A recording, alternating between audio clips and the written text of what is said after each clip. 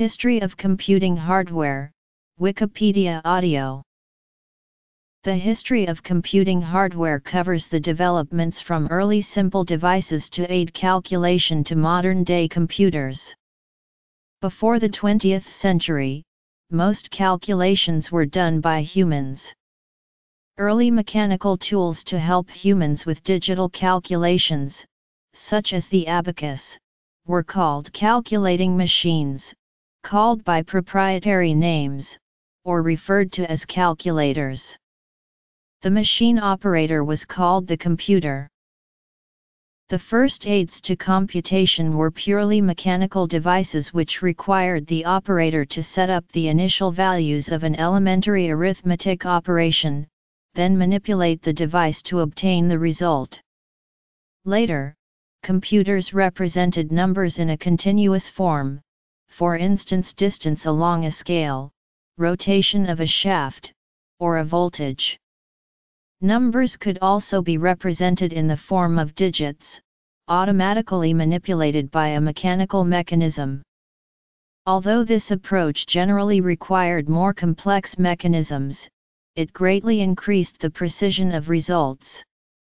A series of breakthroughs, such as miniaturized transistor computers, and the integrated circuit, caused digital computers to largely replace analog computers. The cost of computers gradually became so low that by the 1990s, personal computers, and then, in the 2000s, mobile computers, became ubiquitous in industrialized countries. Devices have been used to aid computation for thousands of years, mostly using one-to-one -one correspondence with fingers. The earliest counting device was probably a form of tally stick. Later record-keeping aids throughout the Fertile Crescent included calculi which represented counts of items, probably livestock, or grains, sealed in hollow unbaked clay containers. The use of counting rods is one example. The abacus was early used for arithmetic tasks. What we now call the Roman abacus was used in Babylonia as early as c. 2700-2300 BC. Since then, many other forms of reckoning boards or tables have been invented. In a medieval European counting house, a checkered cloth would be placed on a table, and markers moved around on it according to certain rules, as an aid to calculating sums of money. Early devices Several analog computers were constructed in ancient and medieval times to perform astronomical calculations. These included the south-pointing chariot from ancient China, and the astrolabe and antikythera mechanism from the Hellenistic world. In Roman Egypt, Hero of Alexandria made mechanical devices including automata and a programmable cart. Other early mechanical devices used to perform one or another type of calculations include the planisphere and other mechanical computing devices invented by Abu Rayhan al-Biruni, the Equatorium and Universal Latitude Independent Astrolabe by Abishai Ibram al-Zarqal, the astronomical analog computers of other medieval Muslim astronomers and engineers, and the astronomical clock tower of Su Song during the Song dynasty. The castle clock, a hydro-powered mechanical astronomical clock invented by Ismail al-Jazari in 1206, was the first programmable analog computer. Ramon Llull invented the Lullian circle, a notional machine for calculating answers to philosophical questions via logical combinatorics.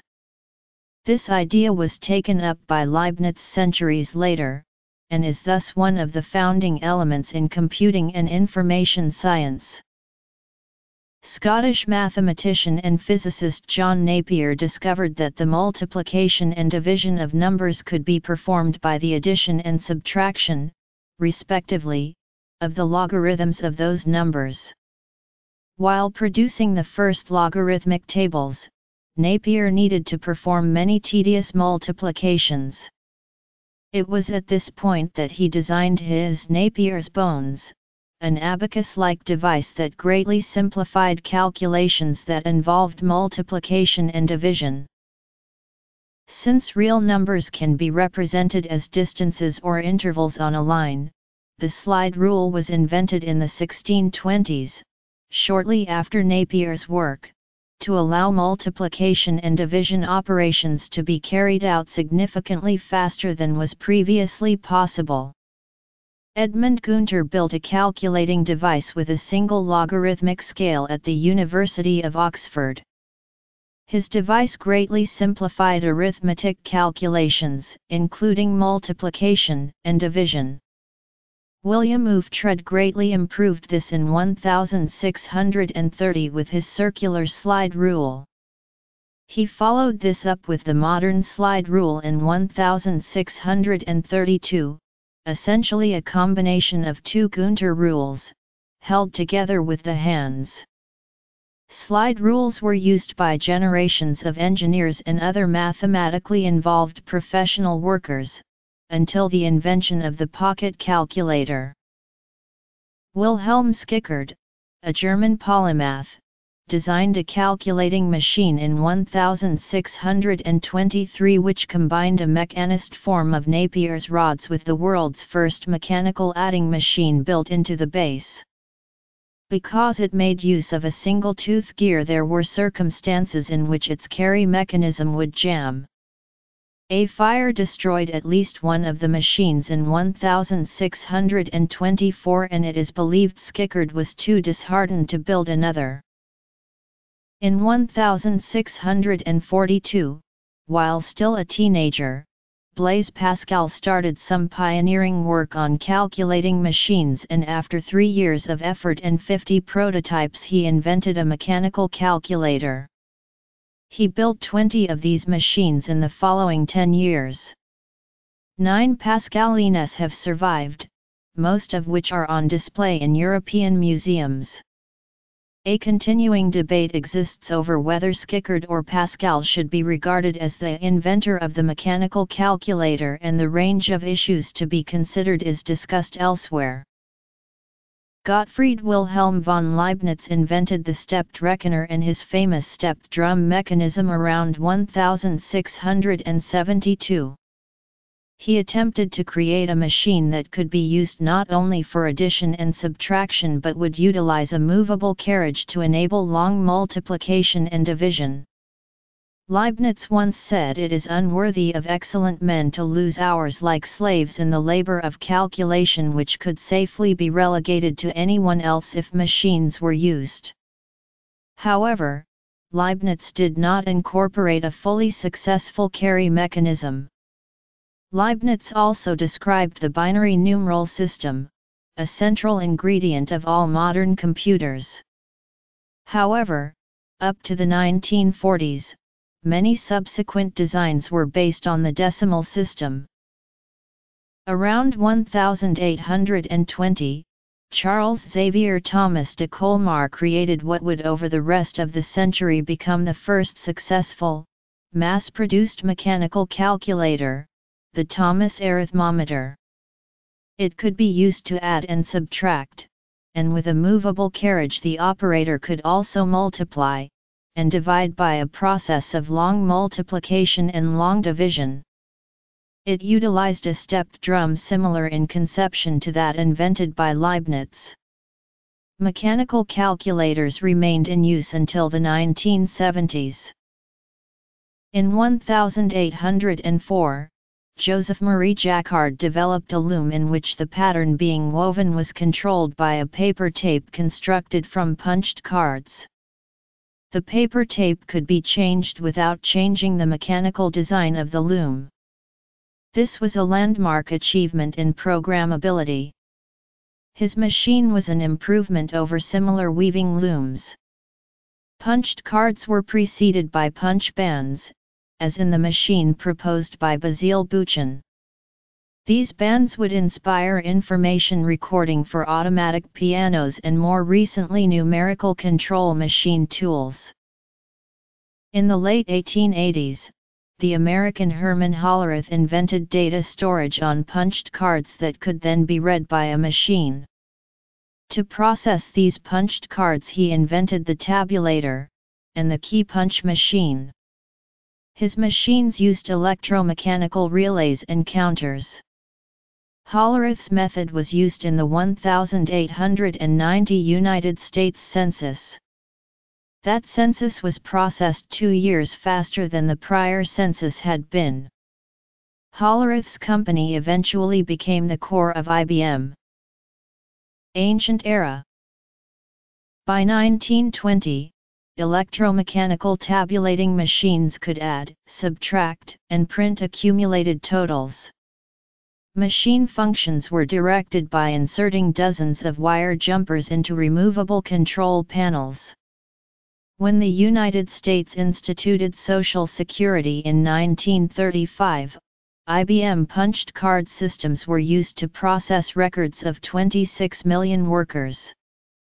Punched cards became ubiquitous in industry and government for accounting and administration.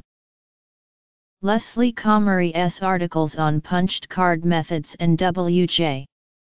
Eckert's publication of punched card methods in scientific computation in 1940, described punched card techniques sufficiently advanced to solve some differential equations or perform multiplication and division using floating point representations, all on punched cards and unit record machines. Such machines were used during World War II for cryptographic statistical processing, as well as a vast number of administrative uses. The Astronomical Computing Bureau, Columbia University, performed astronomical calculations representing the state of the art in computing.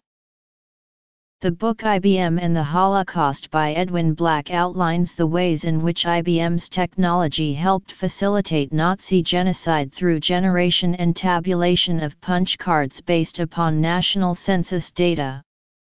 See also, Dehomag. By the 20th century, Earlier mechanical calculators, cash registers, accounting machines, and so on were redesigned to use electric motors, with gear position as the representation for the state of a variable. The word computer was a job title assigned to primarily women who used these calculators to perform mathematical calculations. By the 1920s, British scientist Lewis Fry Richardson's interest in weather prediction led him to propose human computers and numerical analysis to model the weather. To this day, the most powerful computers on Earth are needed to adequately model its weather using the Navier-Stokes equations. Companies like Friden, Marchant Calculator, and Monroe made desktop mechanical calculators from the 1930s that could add, subtract, multiply and divide. In 1948, the Curta was introduced by Austrian inventor Curt Herzstark.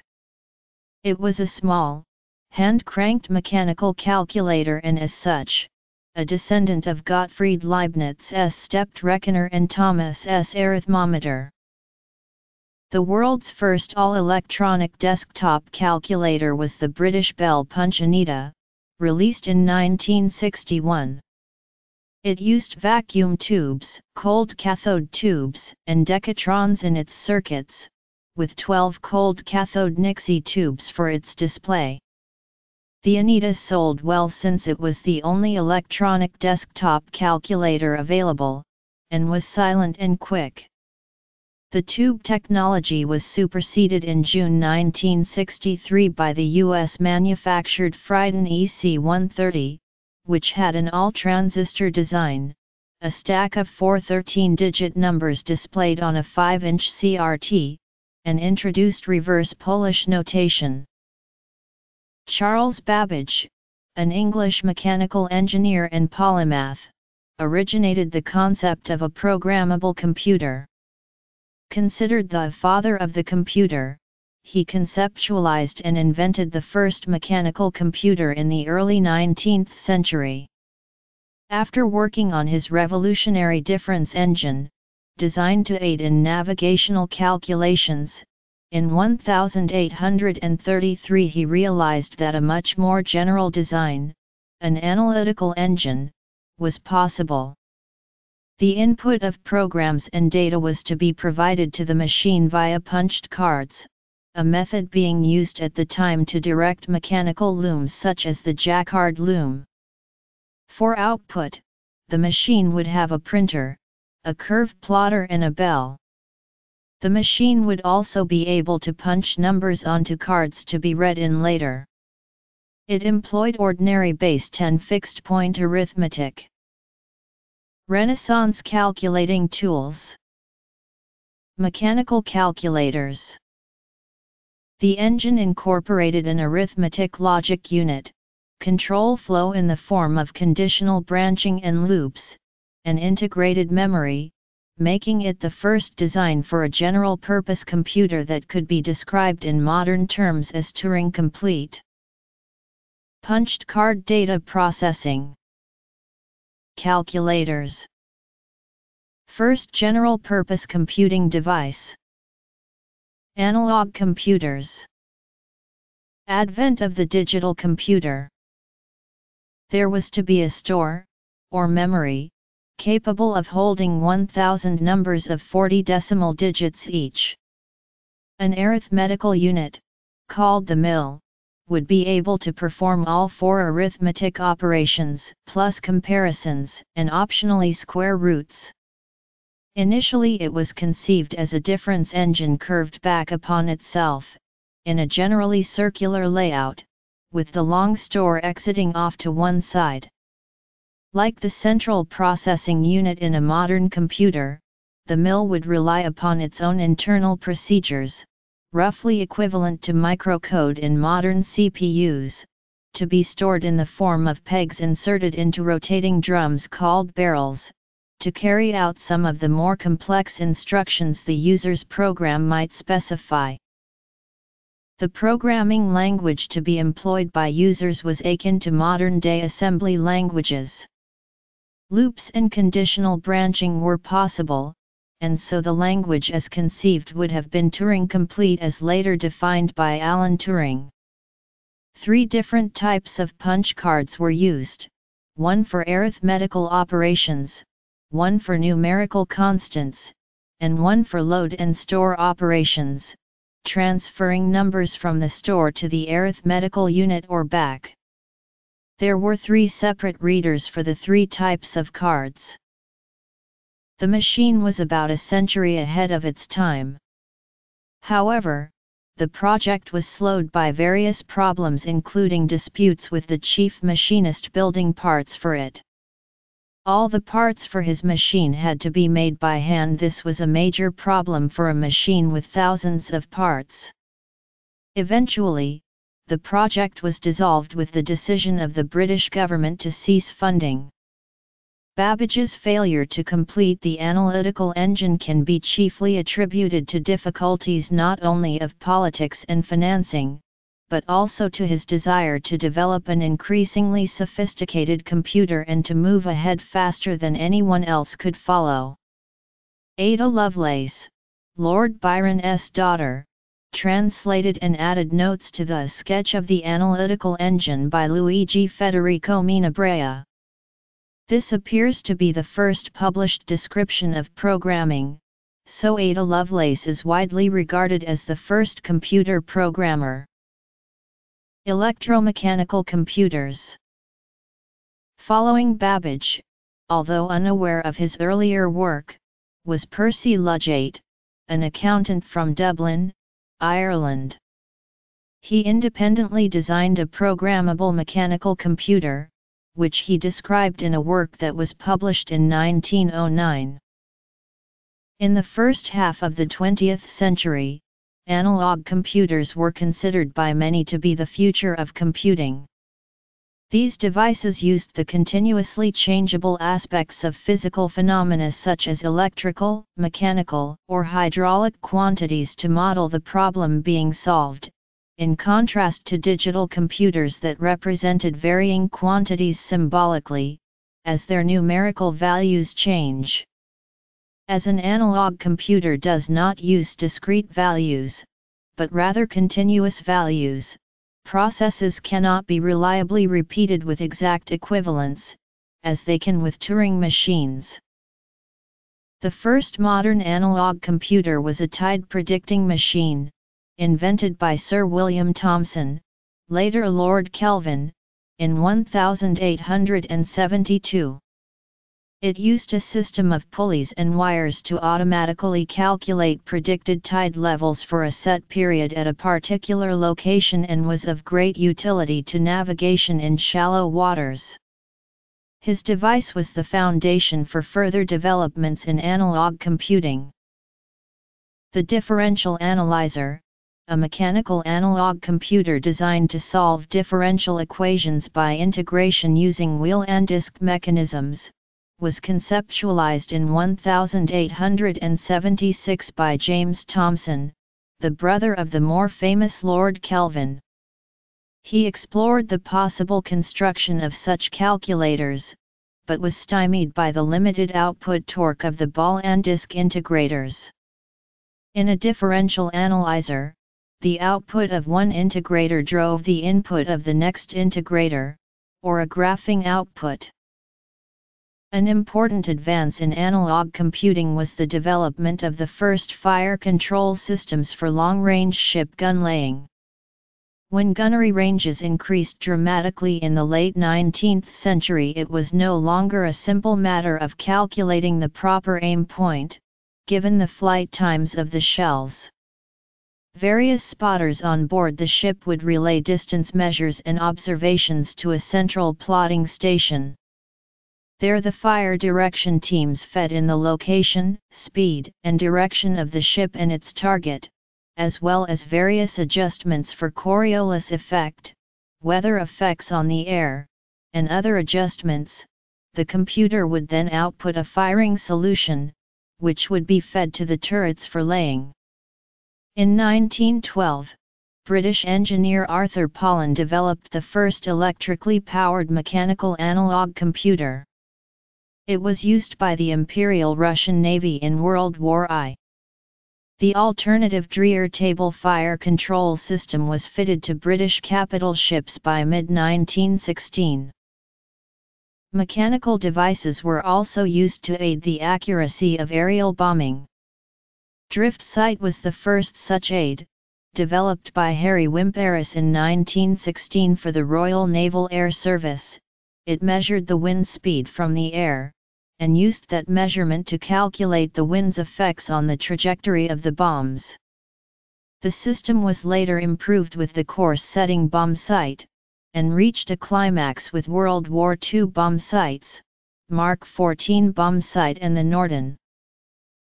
The art of mechanical analog computing reached its zenith with the differential analyzer, built by H. L. Hazen and Vannevar Bush at MIT starting in 1927, which built on the mechanical integrators of James Thomson and the torque amplifiers invented by H. W. Nieman. A dozen of these devices were built before their obsolescence became obvious. The most powerful was constructed at the University of Pennsylvania S. Moore School of Electrical Engineering, where the ENIAC was built. Digital computation A fully electronic analog computer was built by Helmut Hölzer in 1942 at Peenemünde Army Research Center. By the 1950s the success of digital electronic computers had spelled the end for most analog computing machines, but hybrid analog computers, controlled by digital electronics, remained in substantial use into the 1950s and 1960s, and later in some specialized applications. Electronic data processing The principle of the modern computer was first described by computer scientist Alan Turing, who set out the idea in his seminal 1936 paper, On Computable Numbers.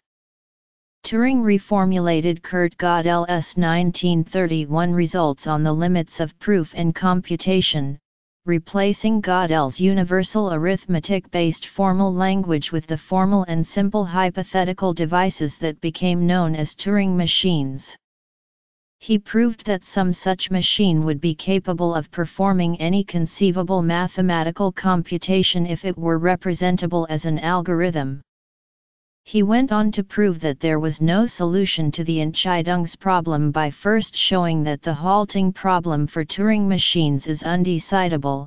In general, it is not possible to decide algorithmically whether a given Turing machine will ever halt. He also introduced the notion of a universal machine, with the idea that such a machine could perform the tasks of any other machine, or in other words, it is provably capable of computing anything that is computable by executing a program stored on tape, allowing the machine to be programmable. Von Neumann acknowledged that the central concept of the modern computer was due to this paper. Turing machines are to this day a central object of study in theory of computation. Except for the limitations imposed by their finite memory stores, modern computers are said to be Turing complete, which is to say, they have algorithm execution capability equivalent to a universal Turing machine. The electronic programmable computer Stored program computer Theory The era of modern computing began with a flurry of development before and during World War II. Most digital computers built in this period were electromechanical, electric switches drove mechanical relays to perform the calculation. These devices had a low operating speed and were eventually superseded by much faster all-electric computers, originally using vacuum tubes. The Z2 was one of the earliest examples of an electromechanical relay computer, and was created by German engineer Konrad Zuse in 1939. It was an improvement on his earlier Z1, although it used the same mechanical memory, it replaced the arithmetic and control logic with electrical relay circuits. In the same year, electromechanical devices called bombes were built by British cryptologists to help decipher German Enigma machine encrypted secret messages during World War II. The bombe's initial design was created in 1939 at the UK Government Code and Cipher School at Bletchley Park by Alan Turing, with an important refinement devised in 1940 by Gordon Welchman. The engineering design and construction was the work of Harold Keen of the British Tabulating Machine Company. It was a substantial development from a device that had been designed in 1938 by Polish cipher bureau cryptologist Marian Rejewski, and known as the cryptologic bomb. In 1941, Zuse followed his earlier machine up with the Z3, the world's first working electromechanical programmable, fully automatic digital computer. The Z3 was built with 2000 relays, implementing a 22-bit word length that operated at a clock frequency of about 510 Hz. Program code and data were stored on punched film. It was quite similar to modern machines in some respects, pioneering numerous advances such as floating point numbers. Replacement of the hard-to-implement decimal system by the simpler binary system meant that Zuse's machines were easier to build and potentially more reliable, given the technologies available at that time. The Z3 was probably a complete Turing machine. In two 1936 patent applications, Zuse also anticipated that machine instructions could be stored in the same storage used for data the key insight of what became known as the von Neumann architecture, first implemented in the British SSEM of 1948. Zuse suffered setbacks during World War II when some of his machines were destroyed in the course of Allied bombing campaigns. Apparently his work remained largely unknown to engineers in the UK and US until much later, although at least IBM was aware of it as it financed his post-war startup company in 1946 in return for an option on Zuse's patents. In 1944, the Harvard Mark I was constructed at IBM's Endicott Laboratories. It was a similar general-purpose electromechanical computer to the Z3, but was not quite Turing complete. A mathematical basis of digital computing is Boolean algebra, developed by the British mathematician George Boole in his work The Laws of Thought, published in 1854. His Boolean algebra was further refined in the 1860s by William Jevons and Charles Sanders Peirce, and was first presented systematically by Ernst Schroeder and A. N. Whitehead. In the 1930s and working independently, American electronic engineer Claude Shannon and Soviet logician Viktor Shestakov both showed a one-to-one -one correspondence between the concepts of Boolean logic and certain electrical circuits, now called logic gates, which are now ubiquitous in digital computers. They showed that electronic relays and switches can realize the expressions of Boolean algebra. This thesis essentially founded practical digital circuit design. Purely electronic circuit elements soon replaced their mechanical and electromechanical equivalents, at the same time that digital calculation replaced analog. Machines such as the Z3, the Atanasoff Berry computer, the Colossus computers, and the ENIAC were built by hand, using circuits containing relays or valves, and often used punched cards or punched paper tape for input and as the main storage medium. The engineer Tommy Flowers joined the telecommunications branch of the General Post Office in 1926. While working at the research station in Dollis Hill in the 1930s, he began to explore the possible use of electronics for the telephone exchange. Experimental equipment that he built in 1934 went into operation five years later, converting a portion of the telephone exchange network into an electronic data processing system, using thousands of vacuum tubes. In the U.S., John Vincent Atanasoff and Clifford E. Berry of Iowa State University developed and tested the Atanasoff Berry computer in 1942, the first electronic digital calculating device. This design was also all electronic, and used about 300 vacuum tubes, with capacitors fixed in a mechanically rotating drum for memory. However, its paper card writer slash reader was unreliable, and work on the machine was discontinued. The machine's special purpose nature and lack of a changeable, stored program distinguish it from modern computers. During World War II, the British at Bletchley Park achieved a number of successes at breaking encrypted German military communications. The German encryption machine, Enigma, was first attacked with the help of the electromechanical bombes. They ruled out possible Enigma settings by performing chains of logical deductions implemented electrically. Most possibilities led to a contradiction, and the few remaining could be tested by hand. The Germans also developed a series of teleprinter encryption systems, quite different from Enigma. The Lorenz SZ40 40 seconds machine was used for high-level army communications, termed tunny by the British.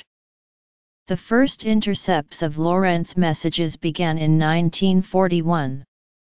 As part of an attack on Tunny, Max Newman and his colleagues helped specify the Colossus. Tommy Flowers, still a senior engineer at the Post Office Research Station was recommended to Max Newman by Alan Turing and spent 11 months from early February 1943 designing and building the first Colossus. After a functional test in December 1943, Colossus was shipped to Bletchley Park, where it was delivered on January 18, 1944 and attacked its first message on February 5. Colossus was the world's first electronic digital programmable computer. It used a large number of valves. It had paper tape input and was capable of being configured to perform a variety of Boolean logical operations on its data, but it was not Turing complete. 9 Mk2 Colossi were built. Colossus Mark I contained 1,500 thermionic valves, but Mark II with 2,400 valves, was both five times faster and simpler to operate than Mark I, greatly speeding the decoding process. Mark II was designed while Mark I was being constructed. Allen Coombs took over leadership of the Colossus Mark II project when Tommy Flowers moved on to other projects. Colossus was able to process 5,000 characters per second with the paper tape moving at 40 feet/s. Sometimes, two or more Colossus computers tried different possibilities simultaneously in what now is called parallel computing, speeding the decoding process by perhaps as much as double the rate of comparison. Colossus included the first ever use of shift registers and systolic arrays, enabling five simultaneous tests, each involving up to 100 Boolean calculations, on each of the five channels on the punched tape. Initially Colossus was only used to determine the initial wheel positions used for a particular message. The Mark II included mechanisms intended to help determine pin patterns. Both models were programmable using switches and plug panels in a way their predecessors had not been. Without the use of these machines, the Allies would have been deprived of the very valuable intelligence that was obtained from reading the vast quantity of encrypted high-level telegraphic messages between the German High Command and their army commands throughout occupied Europe. Details of their existence, design, and use were kept secret well into the 1970s. Winston Churchill personally issued an order for their destruction into pieces no larger than a man's hand, to keep secret that the British were capable of cracking Lorenz SZ ciphers during the oncoming Cold War. Two of the machines were transferred to the newly formed GCHQ and the others were destroyed. As a result, the machines were not included in many histories of computing. A reconstructed working copy of one of the Colossus machines is now on display at Bletchley Park. The US-built ENIAC was the first electronic programmable computer built in the US. Although the ENIAC was similar to the Colossus it was much faster and more flexible.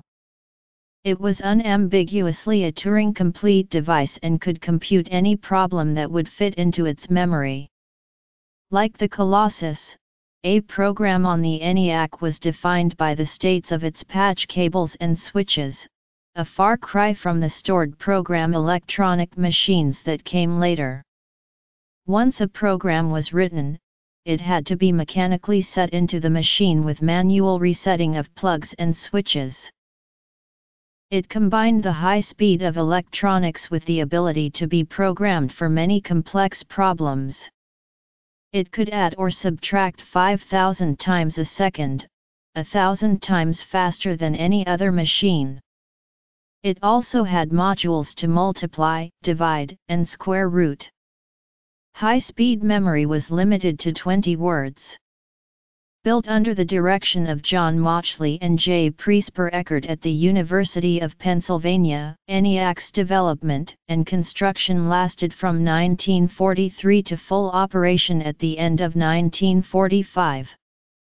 The machine was huge, weighing 30 tons, using 200 kilowatts of electric power and contained over 18,000 vacuum tubes, 1,500 relays, and hundreds of thousands of resistors, capacitors, and inductors. One of its major engineering feats was to minimize the effects of tube burnout, which was a common problem in machine reliability at that time. The machine was in almost constant use for the next 10 years. Early computing machines had fixed programs. For example, a desk calculator is a fixed program computer. It can do basic mathematics, but it cannot be used as a word processor or a gaming console. Changing the program of a fixed program machine requires rewiring, restructuring, or redesigning the machine. The earliest computers were not so much programmed as they were designed. Reprogramming, when it was possible at all, was a laborious process, starting with flowcharts and paper notes, followed by detailed engineering designs, and then the often arduous process of physically rewiring and rebuilding the machine. With the proposal of the stored program computer this changed. A stored program computer includes by design an instruction set and can store in memory a set of instructions that details the computation. The theoretical basis for the stored program computer had been composed by Alan Turing in his 1936 paper. In 1945 Turing joined the National Physical Laboratory and began his work on developing an electronic stored program digital computer. His 1945 report proposed electronic calculator was the first specification for such a device. Meanwhile, John von Neumann at the Moore School of Electrical Engineering, University of Pennsylvania, circulated his first draft of a report on the EDVAC in 1945. Although substantially similar to Turing's design and containing comparatively little engineering detail, the computer architecture it outlined became known as the von Neumann architecture. Turing presented a more detailed paper to the National Physical Laboratory Executive Committee in 1946, giving the first reasonably complete design of a stored program computer, a device he called the Automatic Computing Engine. However, the better-known EDVAC design of John von Neumann, who knew of Turing's theoretical work, received more publicity, despite its incomplete nature and questionable lack of attribution of the sources of some of the ideas. Turing thought that the speed and the size of computer memory were crucial elements, so he proposed a high-speed memory of what would today be called 25 kb, accessed at a speed of 1 MHz.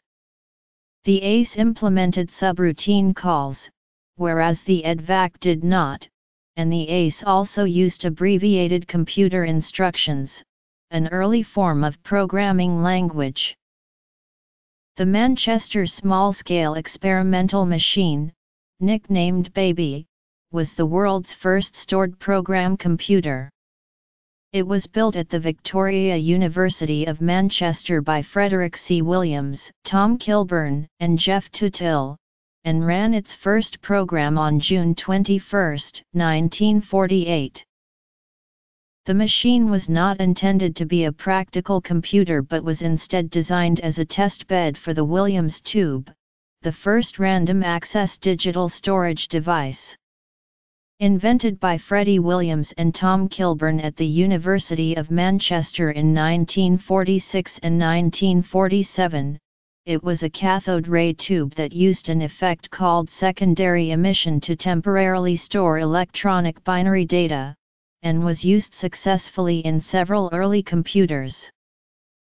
Although the computer was considered small and primitive by the standards of its time, it was the first working machine to contain all of the elements essential to a modern electronic computer. As soon as the SSEM had demonstrated the feasibility of its design, a project was initiated at the university to develop it into a more usable computer, the Manchester Mark I. The Mark I in turn quickly became the prototype for the Ferranti Mark I, the world's first commercially available general-purpose computer. The SSEM had a 32-bit word length and a memory of 32 words.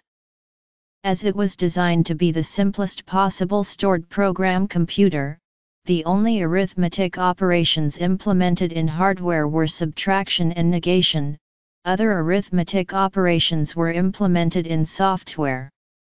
The first of three programs written for the machine found the highest proper divisor of 218, a calculation that was known would take a long time to run and so prove the computer's reliability by testing every integer from 218 to 1 downwards, as division was implemented by repeated subtraction of the divisor. The program consisted of 17 instructions and ran for 52 minutes before reaching the correct answer of 131,072, after the SSEM had performed 3.5 million operations. The experimental machine led on to the development of the Manchester Mark I at the University of Manchester. Work began in August 1948, and the first version was operational by April 1949, a program written to search for Mersenne primes ran error-free for nine hours on the night of 16-17 June 1949. The machine's successful operation was widely reported in the British press, which used the phrase electronic brain in describing it to their readers. The computer is especially historically significant because of its pioneering inclusion of index registers, an innovation which made it easier for a program to read sequentially through an array of words in memory. 34 patents resulted from the machine's development, and many of the ideas behind its design were incorporated in subsequent commercial products such as the IBM 701 and 702 as well as the Ferranti Mark I. The chief designers, Frederick C. Williams and Tom Kilburn, concluded from their experiences with the Mark I that computers would be used more in scientific roles than in pure mathematics. In 1951 they started development work on MEG, the Mark I's successor, which would include a floating point unit. The other contender for being the first recognizably modern digital stored program computer was the EDSAC designed and constructed by Maurice Wilkes and his team at the University of Cambridge Mathematical Laboratory in England at the University of Cambridge in 1949. The machine was inspired by John von Neumann's seminal first draft of a report on the EDVAC and was one of the first usefully operational electronic digital stored program computer. EDSAC ran its first programs on May 6, 1949, when it calculated a table of squares and a list of prime numbers. The EDSAC also served as the basis for the first commercially applied computer, the Leo I, used by food manufacturing company J. Lyons and Co. Ltd. EDSAC 1 and was finally shut down on July 11, 1958 having been superseded by EDSAC-2 which stayed in use until 1965. The brain may one day come down to our level and help with our income tax and bookkeeping calculations. But this is speculation and there is no sign of it so far. ENIAC inventors John Mauchly and J. Presper Eckert proposed the EDVAC's construction in August 1944, and design work for the EDVAC commenced at the University of Pennsylvania's Moore School of Electrical Engineering, before the ENIAC was fully operational. The design implemented a number of important architectural and logical improvements conceived during the ENIAC's construction, and a high-speed serial access memory. However, Eckert and Mauchly left the project and its construction floundered. It was finally delivered to the U.S. Army's Ballistics Research Laboratory at the Aberdeen Proving Ground in August 1949, but due to a number of problems, the computer only began operation in 1951, and then only on a limited basis. The first commercial computer was the Ferranti Mark I, built by Ferranti and delivered to the University of Manchester in February 1951. It was based on the Manchester Mark I. The main improvements over the Manchester Mark I were in the size of the primary storage, secondary storage, a faster multiplier, and additional instructions. The basic cycle time was 1.2 milliseconds, and a multiplication could be completed in about 2.16 milliseconds. The multiplier used almost a quarter of the machine's 4050 vacuum tubes. A second machine was purchased by the University of Toronto, before the design was revised into the Mark I star. At least seven of these later machines were delivered between 1953 and 1957, one of them to Shell Labs in Amsterdam.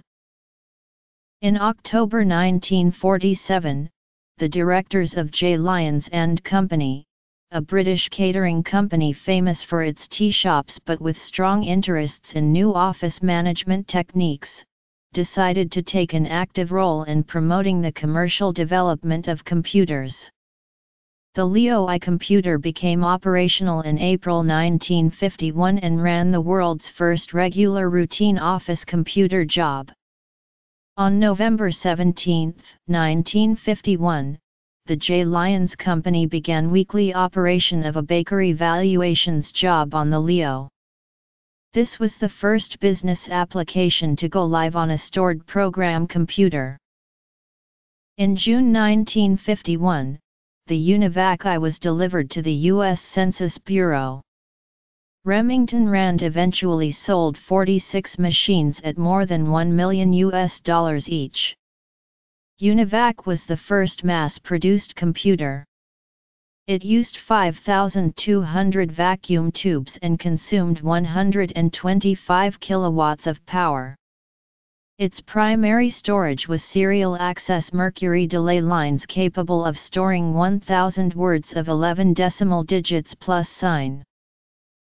Manchester Baby IBM introduced a smaller, more affordable computer in 1954 that proved very popular. The IBM 650 weighed over 900 kilograms, the attached power supply weighed around 1,350 kilograms and both were held in separate cabinets of roughly 1.5 meters by 0.9 meters by 1.8 meters. It cost 500,000 US dollar or could be leased for 3,500 US dollars a month. Its drum memory was originally 2010 digit words, later expanded to 4000 words. Memory limitations such as this were to dominate programming for decades afterward. The program instructions were fetched from the spinning drum as the code ran. Efficient execution using drum memory was provided by a combination of hardware architecture, the instruction format included the address of the next instruction, and software, the Symbolic Optimal Assembly Program, SOAP, assigned instructions to the optimal addresses. Thus many instructions were, when needed, located in the next row of the drum to be read and additional wait time for drum rotation was not required. In 1951, British scientist Maurice Wilkes developed the concept of microprogramming from the realization that the central processing unit of a computer could be controlled by a miniature, highly specialized computer program in high-speed ROM. Microprogramming allows the base instruction set to be defined or extended by built-in programs. This concept greatly simplified CPU development. He first described this at the University of Manchester Computer Inaugural Conference in 1951, then published in expanded form in IEEE Spectrum in 1955. It was widely used in the CPUs and floating point units of mainframe and other computers. It was implemented for the first time in EDSAC2, which also used multiple identical bit slices to simplify design. Interchangeable, replaceable tube assemblies were used for each bit of the processor. The first rotating drum storage device was used in the Birkbeck automatic relay computer developed by Andrew Booth and Kathleen Booth in 1948. By 1954, magnetic core memory was rapidly displacing most other forms of temporary storage, including the Williams tube. It went on to dominate the field through the mid-1970s. A key feature of the American UNIVAC I system of 1951 was the implementation of a newly invented type of metal magnetic tape, and a high-speed tape unit, for non-volatile storage. Magnetic tape is still used in many computers. In 1952, IBM publicly announced the IBM 701 electronic data processing machine, the first in its successful 700-7000 series and its first IBM mainframe computer. The IBM 704, introduced in 1954, used magnetic core memory, which became the standard for large machines. IBM introduced the first disk storage unit, the IBM 350 RAMAC in 1956. Using 50 24-inch metal disks, with 100 tracks per side, it was able to store 5 megabytes of data at a cost of 10,000 US dollars per megabyte. The bipolar transistor was invented in 1947. From 1955 onwards transistors replaced vacuum tubes in computer designs, giving rise to the second generation of computers. Initially the only devices available were germanium point contact transistors. Compared to vacuum tubes, transistors have many advantages, they are smaller, and require less power than vacuum tubes, so give off less heat. Silicon junction transistors were much more reliable than vacuum tubes and had longer, indefinite, service life. Transistorized computers could contain tens of thousands of binary logic circuits in a relatively compact space. Transistors greatly reduced computers' size, initial cost, and operating cost. Typically, Second-generation computers were composed of large numbers of printed circuit boards such as the IBM Standard Modular System each carrying 1 to 4 logic gates or flip-flops. Manchester Mark I At the University of Manchester, a team under the leadership of Tom Kilburn designed and built a machine using the newly developed transistors instead of valves. Initially the only devices available were germanium point contact transistors, less reliable than the valves they replaced but which consumed far less power. Their first transistorized computer and the first in the world, was operational by 1953, and a second version was completed there in April 1955. The 1955 version used 200 transistors, 1,300 solid-state diodes, and had a power consumption of 150 watts. However, the machine did make use of valves to generate its 125 kHz clock waveforms and in the circuitry to read and write on its magnetic drum memory, so it was not the first completely transistorized computer. That distinction goes to the Harwell Cadet of 1955, built by the Electronics Division of the Atomic Energy Research Establishment at Harwell. The design featured a 64 kilobyte magnetic drum memory store with multiple moving heads that had been designed at the National Physical Laboratory, UK.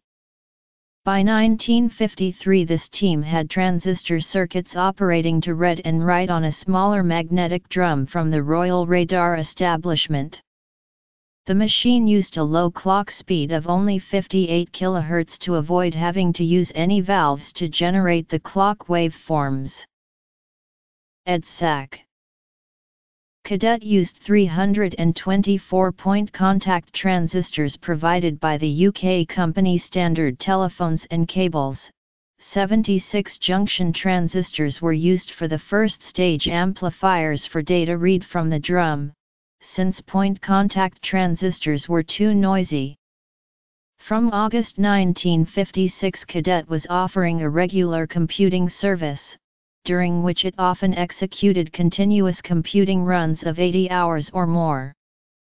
Problems with the reliability of early batches of point contact and alloyed junction transistors meant that the machine's mean time between failures was about 90 minutes, but this improved once the more reliable bipolar junction transistors became available.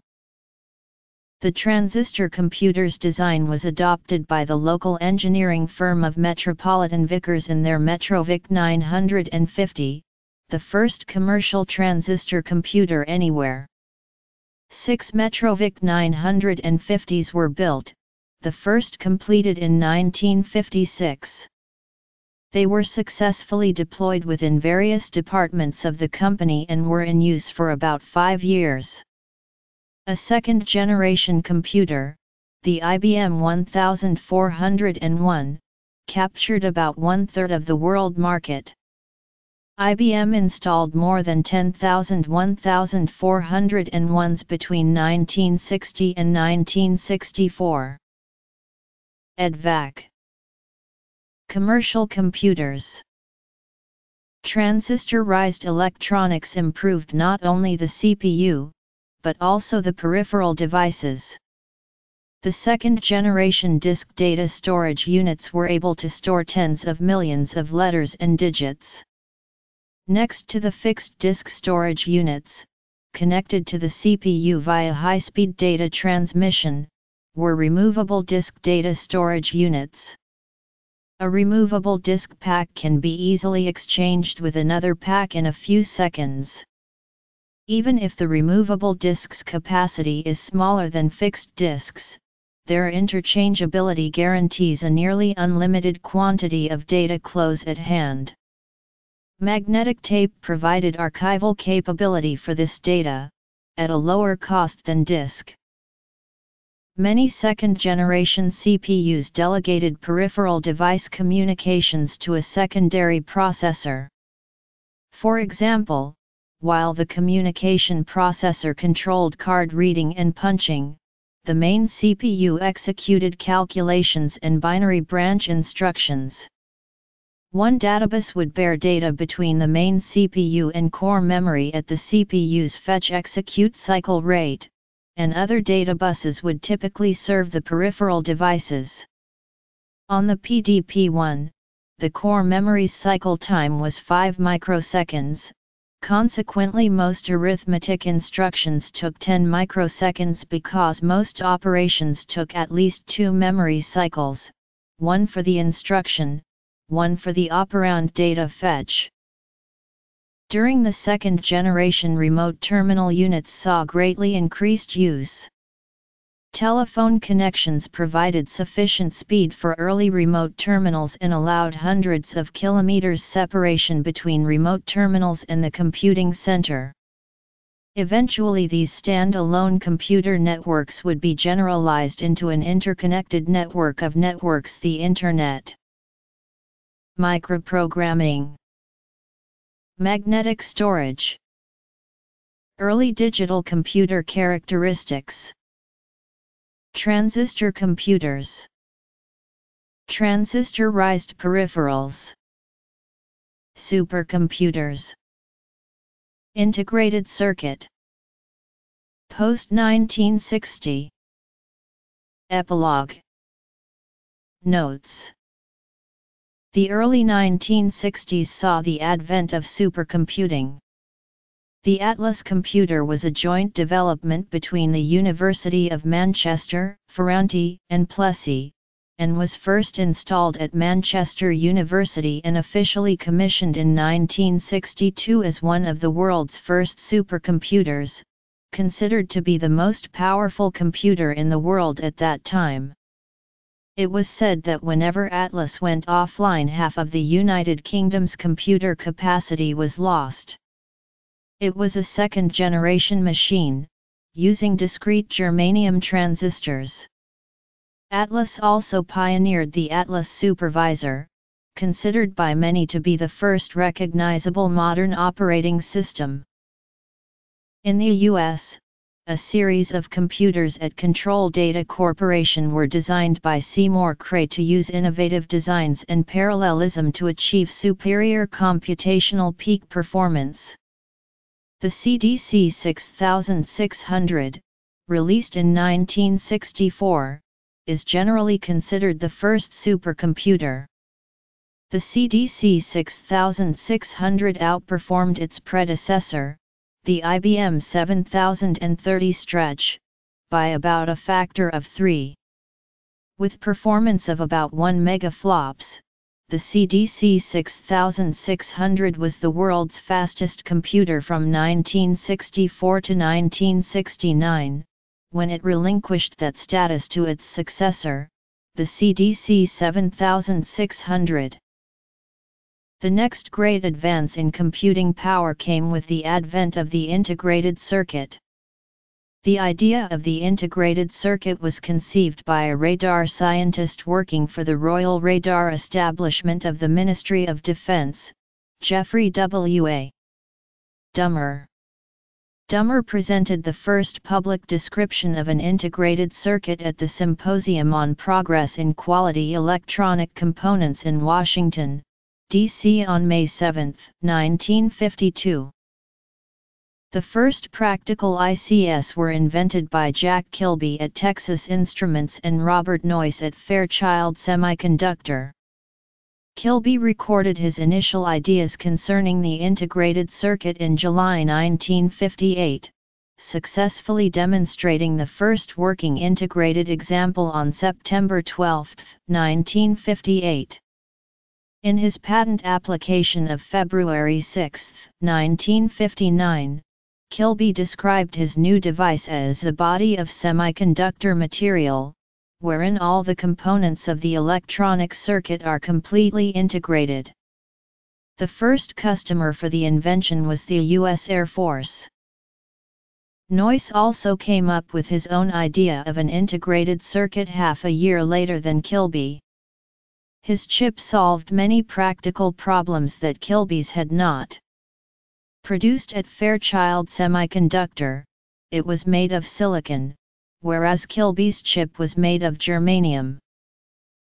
The explosion in the use of computers began with third-generation computers, making use of Jack St. Clair Kilby's and Robert Noyce's independent invention of the integrated circuit. This led to the invention of the microprocessor. While the subject of exactly which device was the first microprocessor is contentious, partly due to lack of agreement on the exact definition of the term microprocessor, it is largely undisputed that the first single-chip microprocessor was the Intel 4004, designed and realized by Ted Hoff, Federico Faggin, and Stanley Mazor at Intel. While the earliest microprocessor ICs literally contained only the processor, i.e. the central processing unit, of a computer, their progressive development naturally led to chips containing most or all of the internal electronic parts of a computer.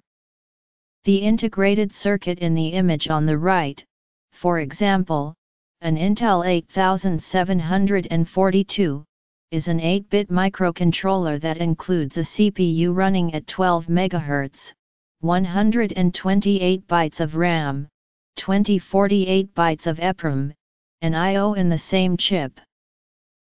During the 1960s there was considerable overlap between second and third generation technologies. IBM implemented its IBM Solid Logic technology modules in hybrid circuits for the IBM System 360 in 1964. As late as 1975, Sperry Univac continued the manufacture of second-generation machines such as the Univac 494. The Burroughs large systems such as the B5000 were stack machines, which allowed for simpler programming. These push-down automatons were also implemented in many computers and microprocessors later, which influenced programming language design. Many computers served as low-cost computer centers for industry, business, and universities. It became possible to simulate analog circuits with the simulation program with integrated circuit emphasis, or SPICE on many computers, one of the programs for electronic design automation. The microprocessor led to the development of the microcomputer, small, low-cost computers that could be owned by individuals and small businesses. Microcomputers, the first of which appeared in the 1970s, became ubiquitous in the 1980s and beyond. While which specific system is considered the first microcomputer is a matter of debate, as there were several unique hobbyist systems developed based on the Intel 4004 and its successor, the Intel 8008.